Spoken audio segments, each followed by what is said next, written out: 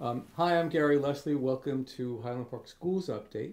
And once again, our guest is Highland Park School Superintendent Dr. Scott Taylor. Thank you again for, again for doing this. Glad to be here. So let's uh, start right away with uh, the, we know that we're having that you're instituting this whole child movement Mm-hmm. this, to address the whole child throughout. Sure. So could you give us a little bit of description of what that means? So, the Whole Child Initiative came out of an organization that's well respected in our field called uh, the Association for Supervision and Curriculum Development, better known as ASCD.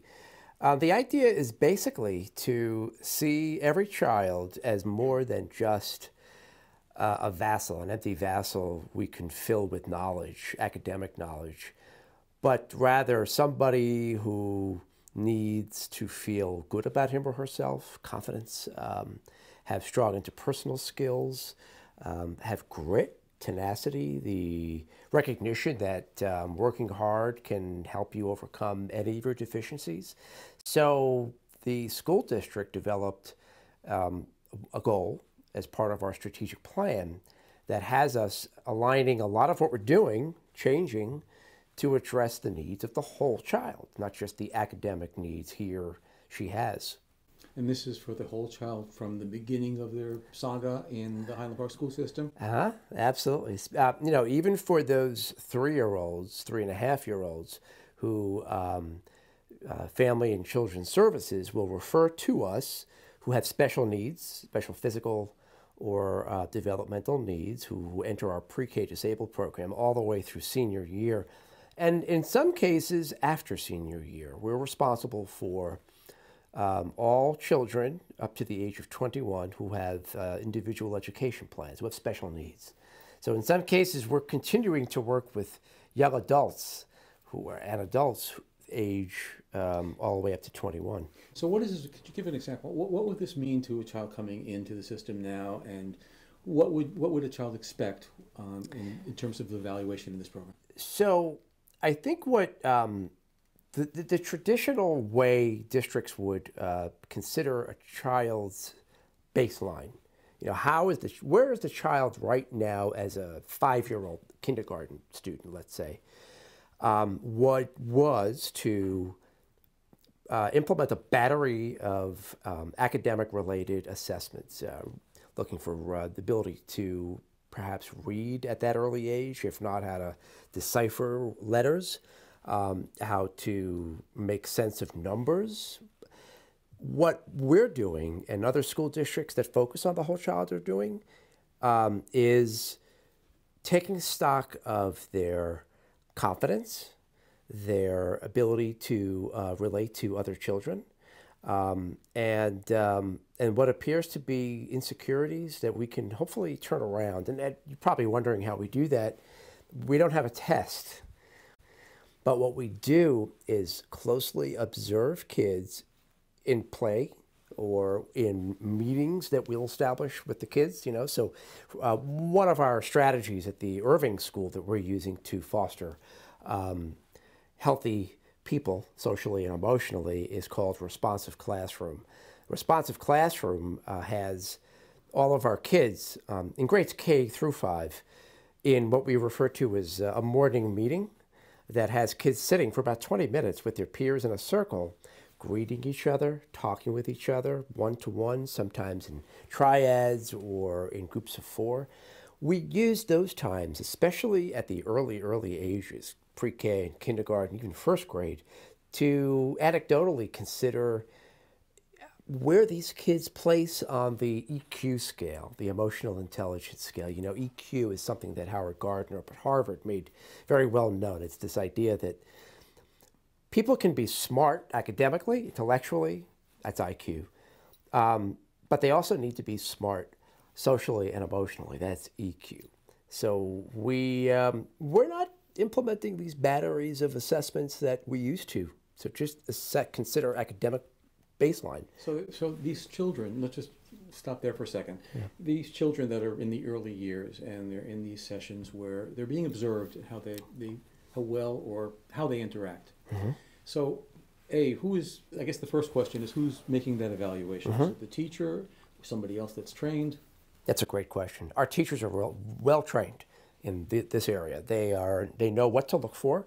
Um, we've spent a lot of time in, in the last four years uh, taking a look at um, the kind of trauma that our kids bring to the table, um, the kind of um, social environments in, through which they're growing. Uh, it's a different time than when we grew up. Um, we're not digital natives. We're digital immigrants. The children we acquire from you know off the street into kindergarten are digital natives. They're they're not accustomed to um, talking on a phone. They're accustomed to texting, even at the age of five and five and six. Our teachers have been trained over the last four years to understand how all of those um, influencers are impacting those kids, and then what to look for if um, the kids have been negatively impacted by some of those influencing factors. You know, nature versus nurture, we, we probably studied that in our college days the idea that kids come to us or people grow up um, genetically ordained in certain ways, but they're also impacted by, um, by nurture, by the things around them. We're better understanding how kids come to us nurtured certain ways. We also have, um, in case a teacher has a concern, and that reaches beyond his or her professional capability.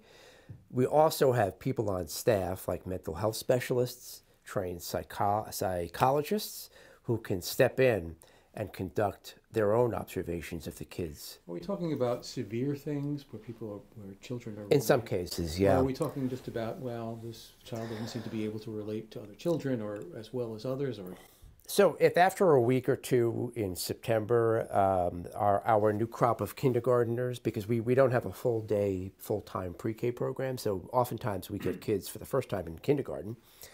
Um, if after the first couple of weeks we see a kindergartner um, not playing appropriately with peers, not um, uh, using proper greetings with peers, or talking properly with peers, we'll um, we'll call in a mental health specialist. We have two on staff in the K 5 grades and um, have that individual use actually a, a, a, a, real assessment tool, a very formal assessment tool that collects quantitative data, numerical data, not just qualitative data, not anecdotal mm-hmm.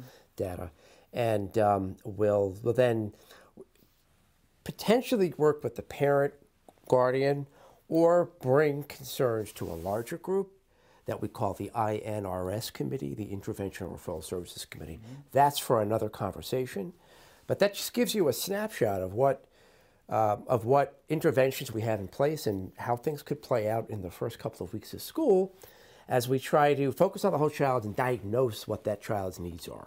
So I would assume, though, that in, and we don't have to talk about the details right now, but I would assume that in that case, in those early years, that, that before there's this battery of evaluations, the parents would be called in and consulted and there'd be some sort of discussion about in, in some cases it all depends on the degree of uh, concern. Um, so we try not to alarm parents and guardians. We, we, we don't want to call a, a kindergartner a kindergartner's mom or dad or guardian and say hey i think we have a problem and it's the second week of school.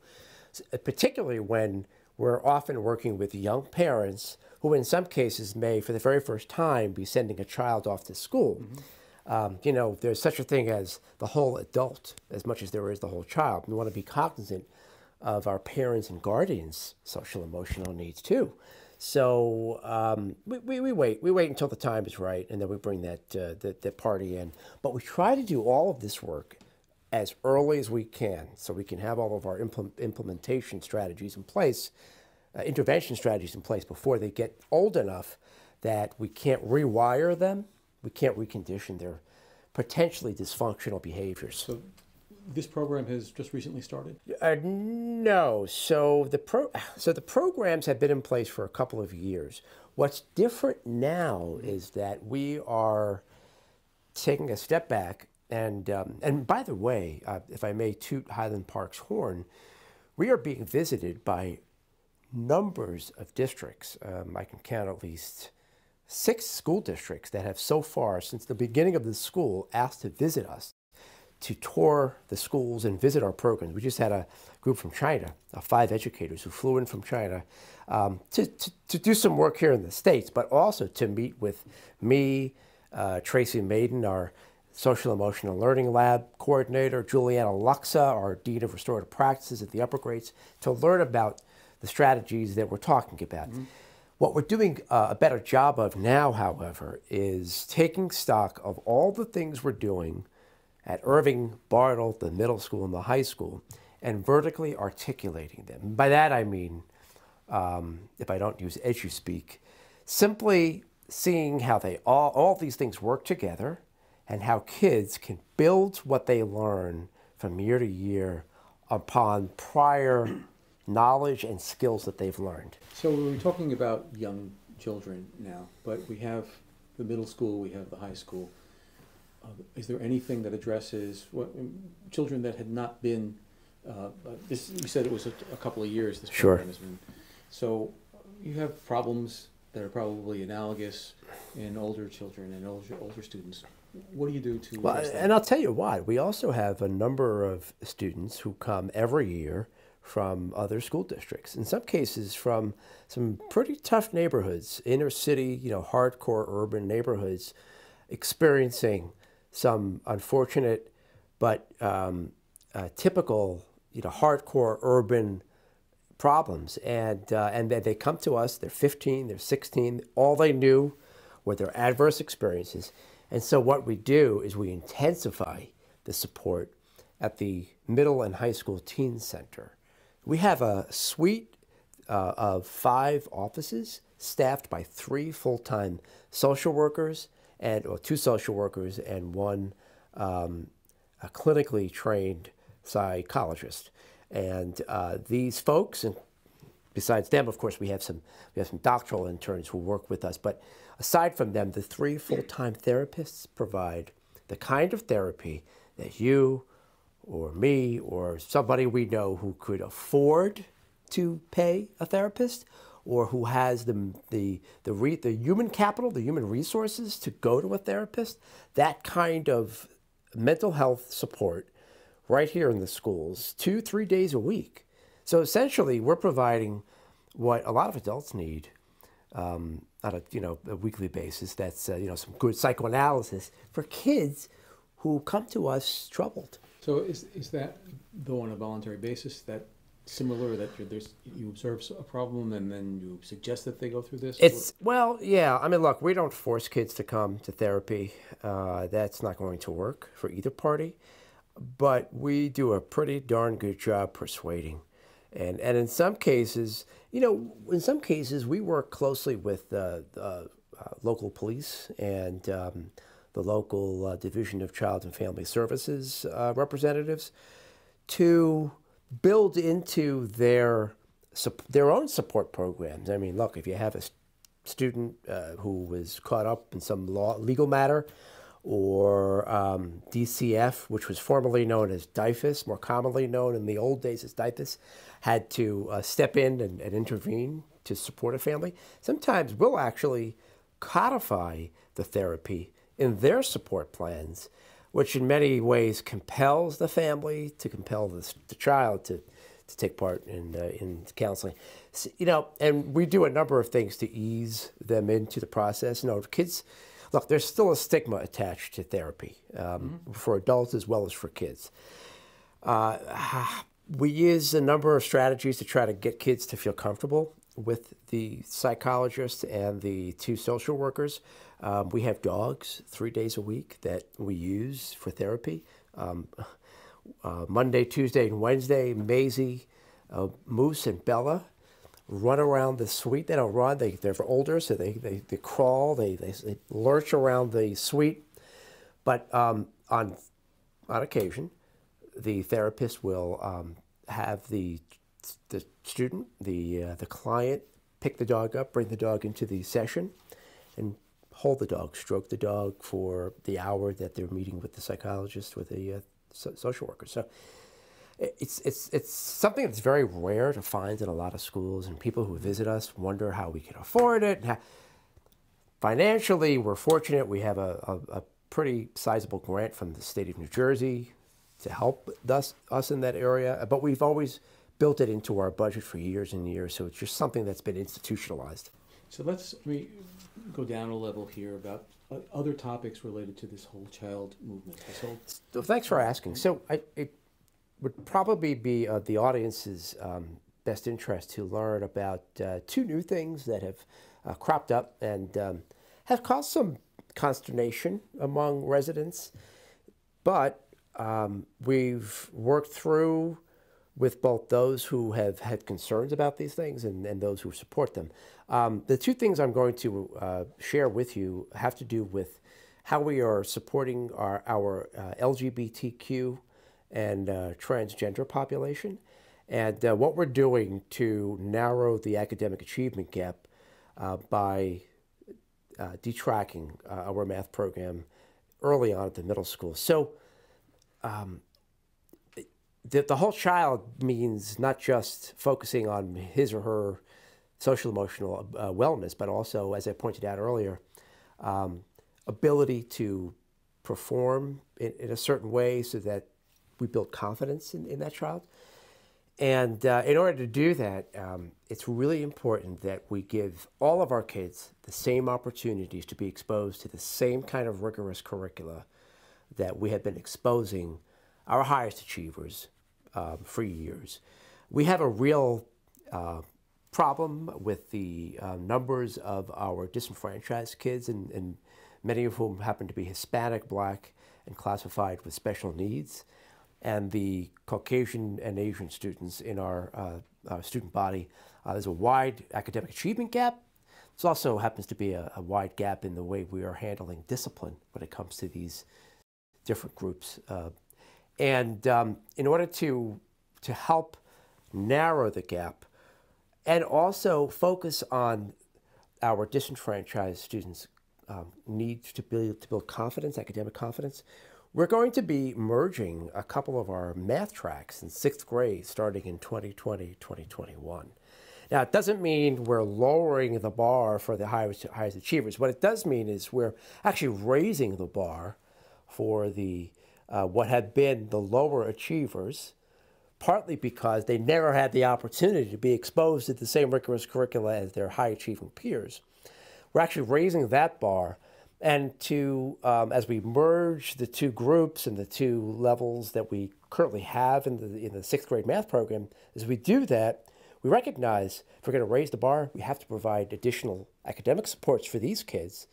And we're doing that by um, changing the curricula. We've already begun to teach math in a different way in the fourth and fifth grade, even though we're not talking about doing this until next year, because it's the fifth grade group that'll be entering that sixth grade, needing that extra jump. Teaching math in a different way, meaning what?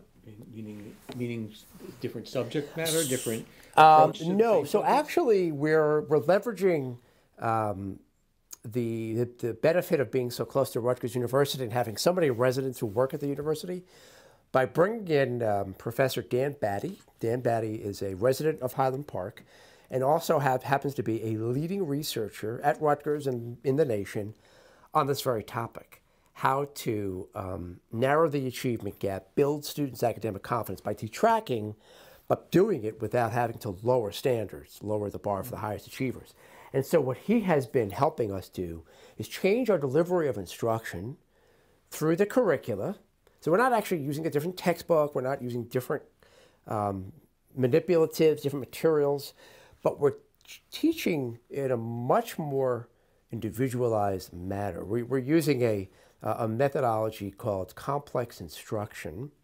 And those at home who want to learn more about it can Google complex instruction, and we'll see that um, The approach comes out of Stanford University initially, but is now spreading to um, help schools like us, uh, starting at the elementary level, even if they're going to be detracking at the higher grades level, prepare the kids who are going to go up into those merged classes be successful. So uh, we're not doing this hodgepodge, um, and we're doing it over time. It's taking us three years to get to this point. But just so that, just to be clear, uh, that in the fifth grade, which be preparing these students to be in this more rigorous program in the sixth. I would assume that that would mean that the fifth grade would be also be more rigorous. Uh, not necessarily. Uh, so it has been. Let's let's just say it's not more rigorous. It always has been rigorous. We have uh, we teach track at Bartle School, our grades two to five leveled math program. Uh, five years ago, we used to have tracks.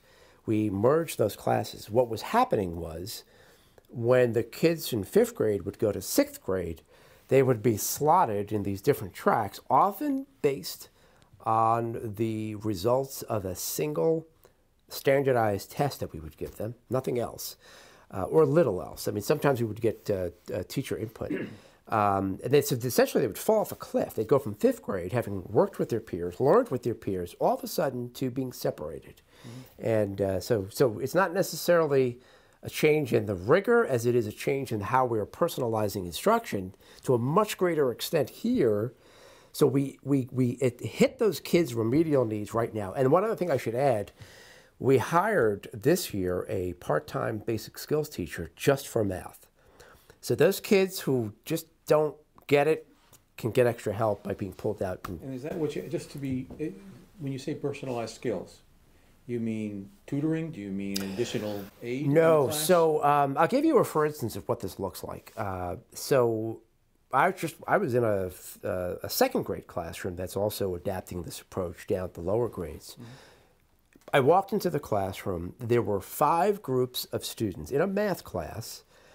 Um, groups of uh, three. I think there was a class of roughly 15 all engaged in different activities. One was actually playing a, a math board game. Another group was um, um, uh, using uh, dominoes to um, engage in um, math equations, you know, construct and then deconstruct math equations.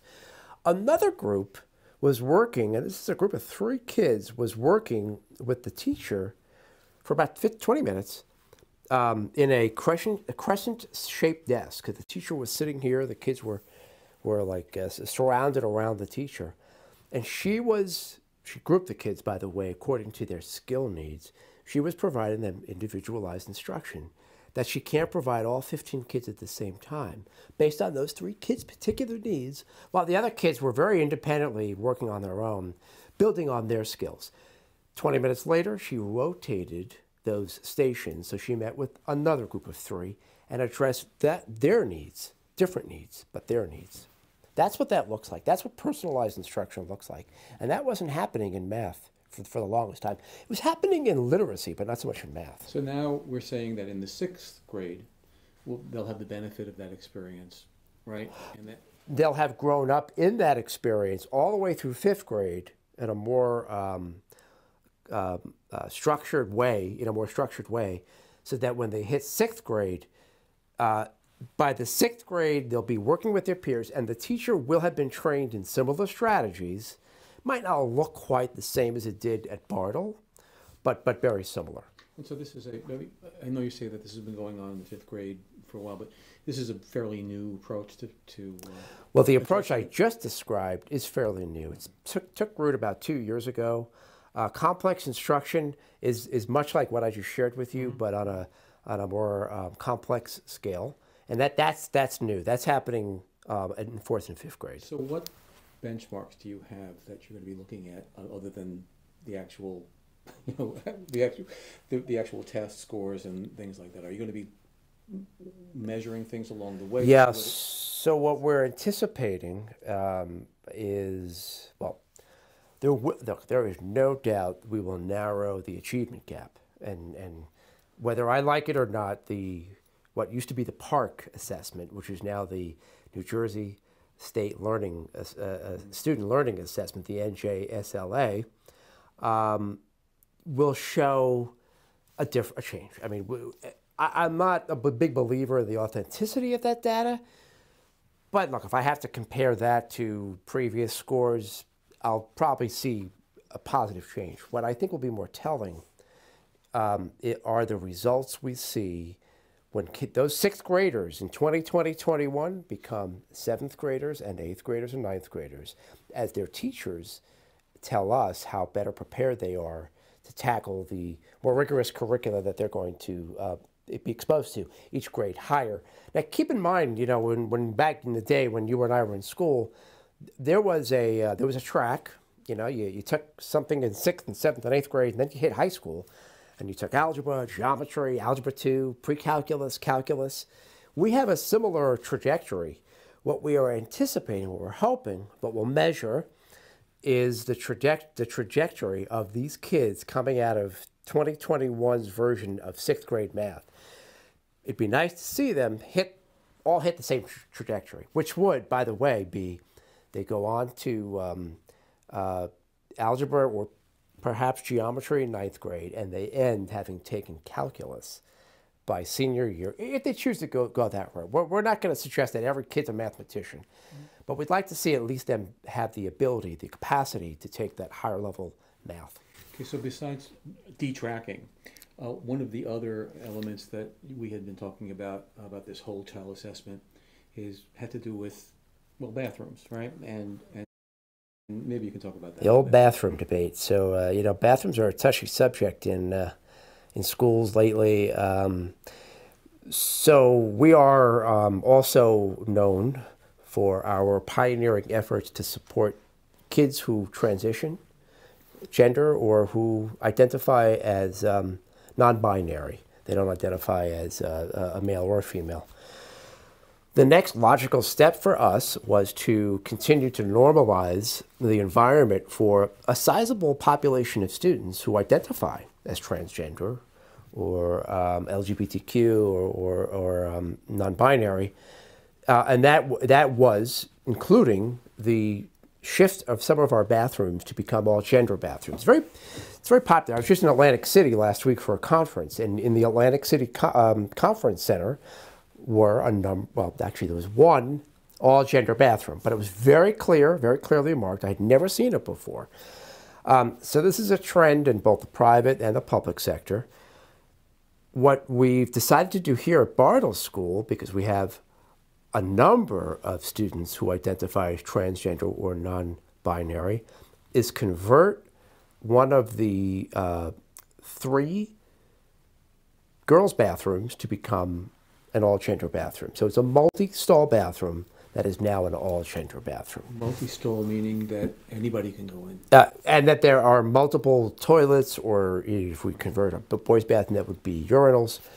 Uh, right now, we've just converted a girls' bathroom, so that means there are two toilets with um, privacy walls. That's a, that's a relatively new thing for schools. How recent is, was that for you? How, how recent is that for you? Uh, how, did it go? No, well, that's a separate question. But how recently has that change been made? So that happened uh, two weeks ago. Uh, no, I'm sorry, three weeks ago from the date that we're talking. We have a phase two a phase two is going to be to convert a bathroom downstairs. We have two floors.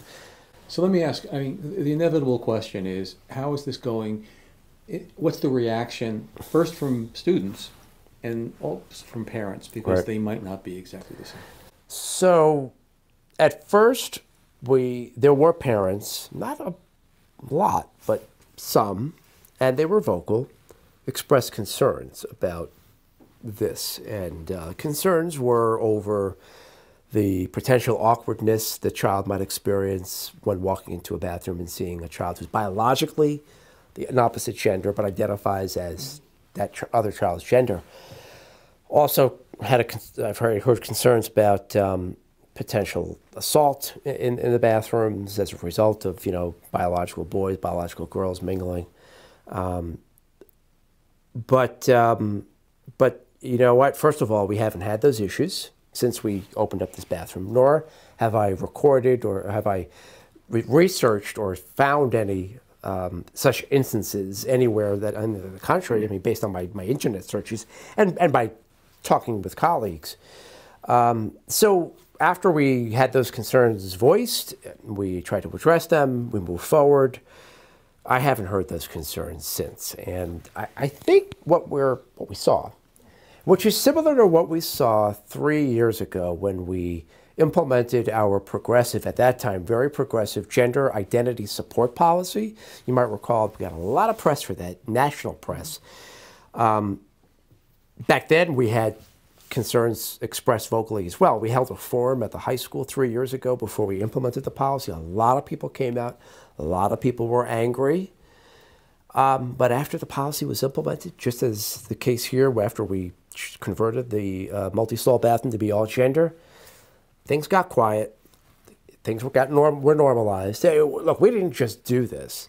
We had meetings with the kids. We had meetings with the teachers, and of course, meetings with the parents. I was going to because the uh, the students' attitude towards this. I mean, the kids are a little bit more worldly wise about stuff like this than they were when I was a kid. But just trying to trying to get an assessment for what their reaction so, to this. Uh, admittedly, I botched the initial rollout in early September. Um, I did not do a good enough job communicating the change to the children, to the students. So that those first few days were confusing for some of the kids who came home, and I was told by their parents had questions about which bathroom to use, what they should do. But when I recognized my mistake, I um, quickly contacted an organization called HiTOPS that specializes in working with kids uh, through these things, and um, and then we uh, we we took a couple steps back, um, a breather, and then uh, re initiated the, the whole process brought the kids back into a what we call a whole school meeting, had a meeting with them, which um, we did only after being coached by this organization called HiTOPS, H I T O P S, based in Princeton. And since then, I think we've um, we've clarified questions that they've had, and uh, and th- there doesn't seem to be any confusion. Now, mind you, that there are many other op- uh, options for kids to use bathrooms associated with their gender. So, mm-hmm. uh, look, in this school, we have uh, three boys' bathrooms and three girls' bathrooms. Right now, we've only taken one girls' bathroom out of the mix and converted that one into an all gender bathroom. Okay. Now, before we move on to just another subject, is there anything else that you want to cover in terms of this whole child? Uh, no, I, I think uh, you know I touched on the the uh, need for us to focus on the social emotional wellness of these kids and and how we're doing that thanks to the strategies that I mentioned at Irving, all the way up to the work we're doing at the Teen Center, and um, and and I do feel that the efforts to narrow the equity gap by detracking and to focus on supporting kids like those who are um, identifying as transgender or non-conforming, all will help us help grow the whole child, not just this, not, not just that single part of the child. What should we be looking for in the next coming months? What what developments do you think that we should be paying attention to?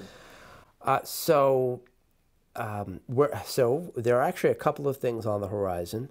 Uh, one of which is for us to um, emphasize on a curriculum level play-based learning at our Irving School, early childhood school. We just received cases of blocks, of play blocks that we're distributing to teachers. And We're, we're, we're trying to double down on our efforts to, um, to expand play-based learning. So when we meet again, I hope to have an update for you in that area. Uh, we're also, um, in the next couple of months, going to be expanding on something that I'd love to talk more about when next we meet, and that is our OWL period at the middle school. We have 54 students who have taken a leadership role in the area of implementing restorative practices. And uh, we've seen our discipline rates at the middle school plummet as a result already of um, not only of the leadership role the kids are taking, but the fact that we're in our fourth year of implementing restorative practices. So in two months, I'm going to have even more data to show the public. I think that uh, proves that this is working, that restorative practices is working. So this is just a couple of things to whet your appetite that I'll, uh, I'll circle back to when we meet again. Well, we'll look forward to that, and I, I think that that's this has been a great informative session. I really appreciate it. Thank you very much. My pleasure. And thank you very much.